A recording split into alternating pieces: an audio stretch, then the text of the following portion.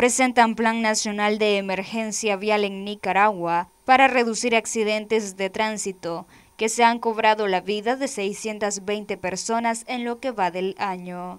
En este año, de 1 de enero al 31 de agosto, llevamos 620 personas fallecidas en accidentes de tránsito. Si actualizamos al día de hoy que estamos presentando esta conferencia de prensa, diríamos que tenemos 624 personas fallecidas. Y aquí es muy importante, trascendental, hacer notar que el factor principal como causa de los accidentes de tránsito es la conducta humana, la irresponsabilidad de conductores, peatones y pasajeros en la vía. Las autoridades señalan que con este plan pretenden lograr varias acciones.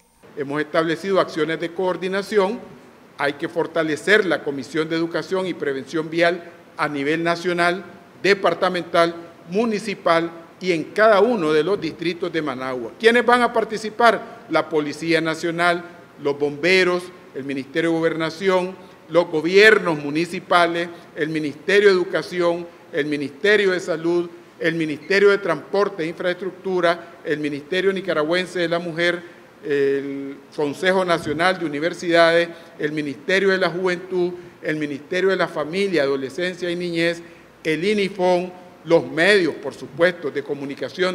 Mucho ojo a esto, acciones educativas. Vamos a elaborar una cartilla de prevención, educación vial para sensibilizar a los conductores, pasajeros y peatones. ¿Qué más vamos a hacer? Vamos a realizar talleres, foros, charlas de prevención y sensibilización vial sobre las causas y consecuencias de los accidentes de tránsito. Vamos a impartir charlas de educación vial en todos los lugares, en las cabeceras departamentales, en los municipios, en los distritos de Managua. ¿A quiénes?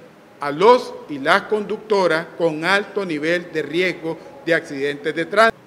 Fortaleciendo la presencia policial, vamos a aplicar con mayor frecuencia radares de velocidad y pruebas de alcoholemia a los y las conductoras, priorizando las terminales de autobuses urbanos, intermunicipales y carreteras.